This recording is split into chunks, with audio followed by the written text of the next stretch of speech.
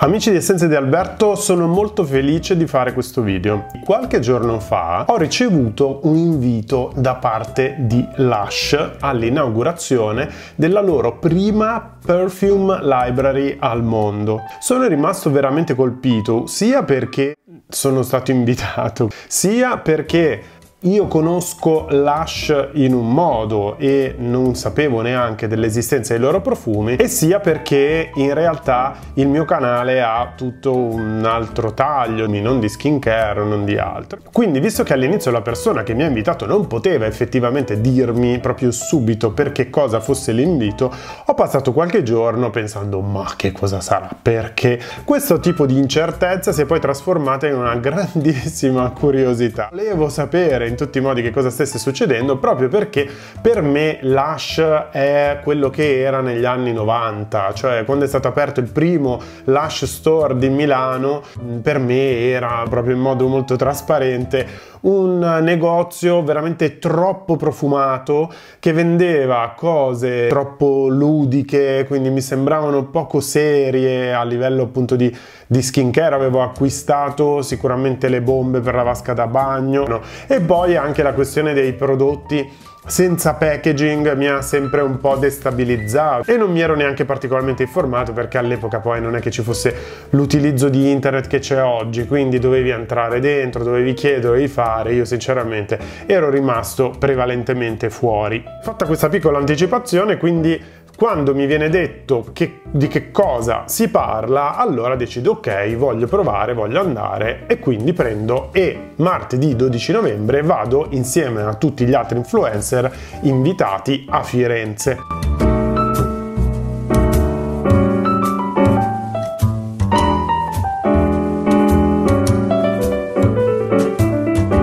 È stato proprio bellissimo tornare a Firenze dopo tanto tempo, è una città stupenda e la Perfume Library di Lush è proprio vicinissima alla stazione in via dei Calzaiuoli.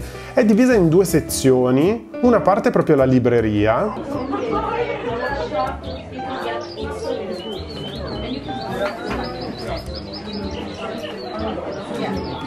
che ci ricorda una profumeria di nicchia vera e propria con tanti piccoli dettaglini. Non so se avete sentito anche il, gli uccellini, proprio il cinguettio degli uccellini che viene proprio creato mh, attraverso queste casse che vedete.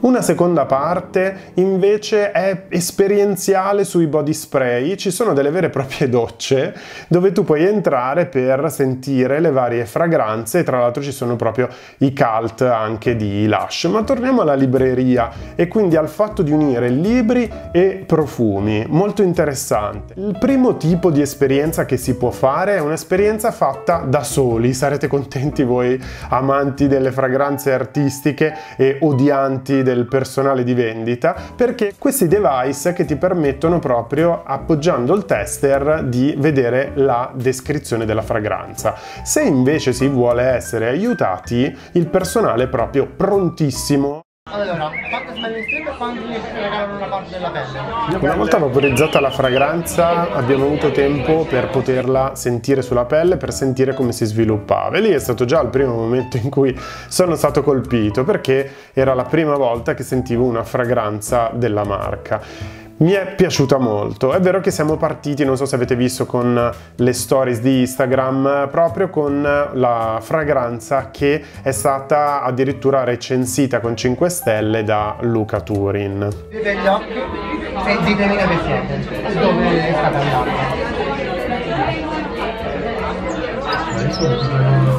andata. uno studio legnoso, fatto tutto di legno con qualcosa di cuoio cammino.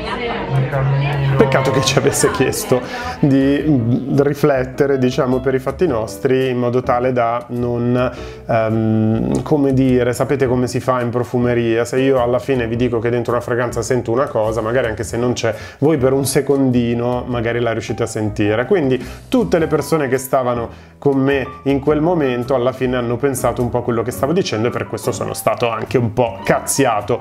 Vabbè, però comunque in realtà è stata bella l'empatia proprio della eh, situazione e più che altro della persona che ci ha guidati in questo piccolo percorso che consiste appunto nella modalità di esperienza. Le possiamo C'hai latte bevuto in un tempio. Fantastico. Ma la terza modalità è quella che richiama la teoria degli umori di Ippocrate. Infatti ero molto curioso perché già se ne parlava nella cartella stampa. che trova radice nella medicina dell'antica Grecia. La teoria di Ippocrate, quindi la teoria degli umori si credeva che tutto, dalla salute alla natura, alla forma del nostro corpo, a quello che ci succedeva, fosse dominato da quattro umori fondamentali.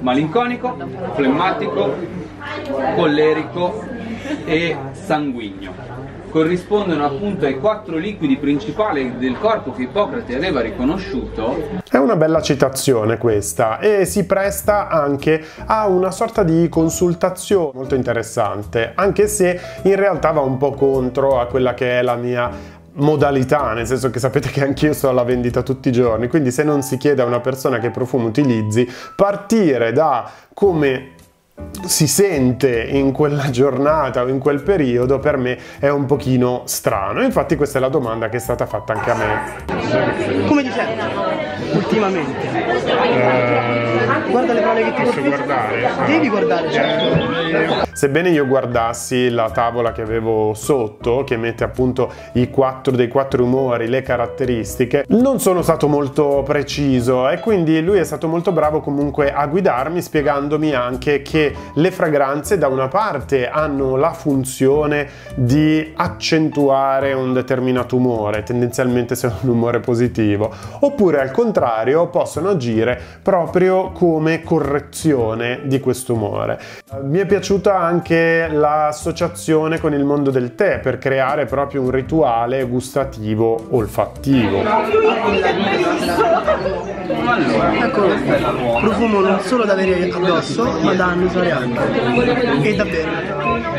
Questo vapore appunto è tutto l'essenziale che cominciano a sciogliersi. Mi è piaciuta mh, forse un po' per la, il carattere scenografico un po' meno invece a livello proprio puristico di degustazione del profumo perché sappiamo che appunto eh, gusto e olfatto sono collegati quindi comunque il fatto che io stessi bevendo qualcosa ha un po' alterato quella che è la percezione mh, mia del profumo che ho sentito dopo sulla Moyette. Ma come dire, anche chi se ne frega, nel senso che eh, sicuramente questo tipo di degustazione è fatta proprio sia per stupire o comunque per quanto può essere intrigante una uh, degustazione di profumo, ma sia per guidare in modo veloce e più immediato sulle fragranze di Lush attraverso proprio l'esperienza della persona che ci fa fare questo tipo di consultazione.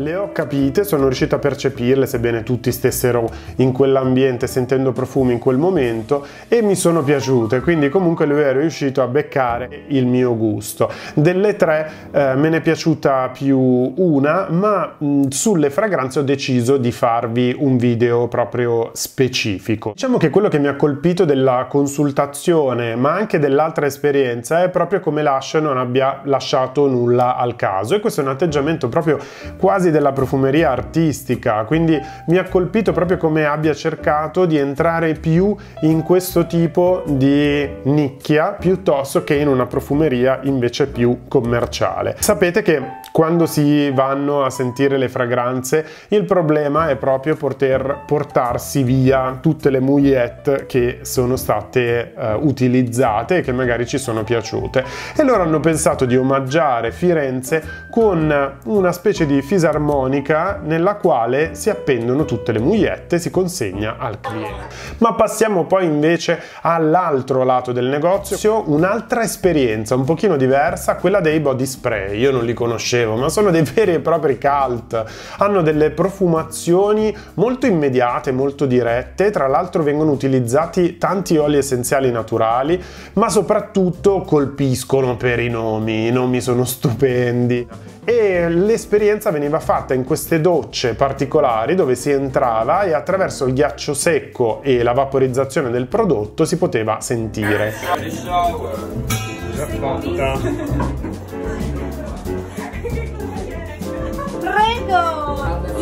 Andiamo? Andiamo! Siete un po' sporcazione! Verdi ragazzi! Che buono! Buono! Un'altra cosa che non conoscevo dell'azienda Lush è la grandissima attenzione nella salvaguardia del benessere degli animali, dei diritti umani e della conservazione ambientale. Tre punti che guidano le scelte aziendali anche nello sviluppo dei prodotti. Non abbiamo attualmente intenzione di aprire nessun punto vendita in Cina proprio perché il governo cinese obbliga, grazie per la precisazione, proprio a testare il prodotto sugli animali, anche se è totalmente safety per altre realtà internazionali. Fa impressione come dichiarazione perché il mercato della Cina è un mercato immenso dal quale sapete tutti stanno attingendo in questo momento. Un'azienda che comunque da una parte ha un risvolto che può sembrare così ludico, così giocoso, in realtà è veramente molto molto impegnata da sempre. Infatti sono presenti delle sovvenzioni a tutti coloro che creano dei progetti sostenibili per salvaguardare proprio questi tre pillar che vi ho appena elencato. La prima perfume library lascia al mondo in realtà è anche la prima libreria a tema profumo in Italia. Infatti sono presenti più di 70 volumi su questa tematica e io ne ho comprati, come vedete, un bel po', ne ho approfittato. Uh, siamo qui con Matt che ha, ha curato la selezione dei libri all'interno dello store. Insomma, is... Era presente anche lui, ma l'intervista non è andata benissimo, si riusciva a capire molto proprio con questo frastuono quello che stesse dicendo attraverso il filmato che avevo fatto, scusate. Comunque, quello che sta dicendo è proprio il fatto che il proposito di creare una libreria e di associarla ai profumi fosse intanto per veicolare il fatto che la Lush sta facendo in ambito di profumi le cose per bene. Dall'altra parte poi lui ha proprio detto che questi libri sono i libri che i loro stessi creatori di profumi hanno letto per creare le fragranze di Lush che sono, vi ricordo, tutte create in house, quindi non sono date ad aziende terze. E vi avevo fatto vedere che infatti su tutti i prodotti Lush sono presenti proprio le figurine stilizzate di chi ha creato il prodotto. In aggiunta lui sta parlando anche di come siano presenti delle pubblicazioni che raccontano ovviamente la storia dei prodotti Lush perché sapete io ho aperto il canale Essenze di Alberto proprio per parlare di come eh, ci siano dei profumi che nascono da delle idee che vengono veicolate attraverso il profumo come prodotto artistico. Proprio su questo punto, infatti, i profumi di Lush nel loro piccolo in realtà veicolano sempre un'idea o spesso e volentieri sono proprio un modo per comunicare un concetto.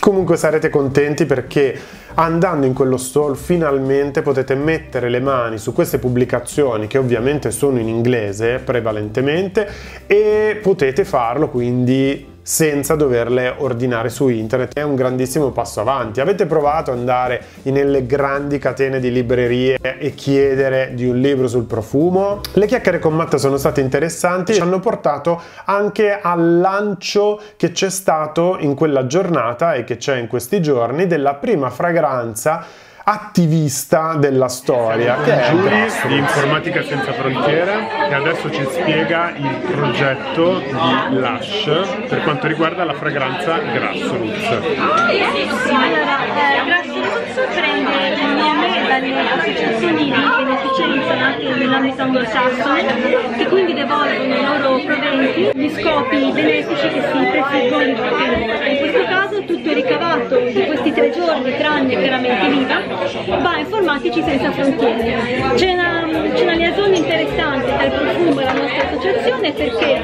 entrambi puntano sulla rigenerazione. La rigenerazione promossa da questo profumo è l'economia virtuosa circolare, eh, l'alcol utilizzato, l'alcol biologico il profumo eh, viene prodotto con la fermentazione degli scarti di lavorazione delle tabacchette dello zucchero a circa 30 km di produzione.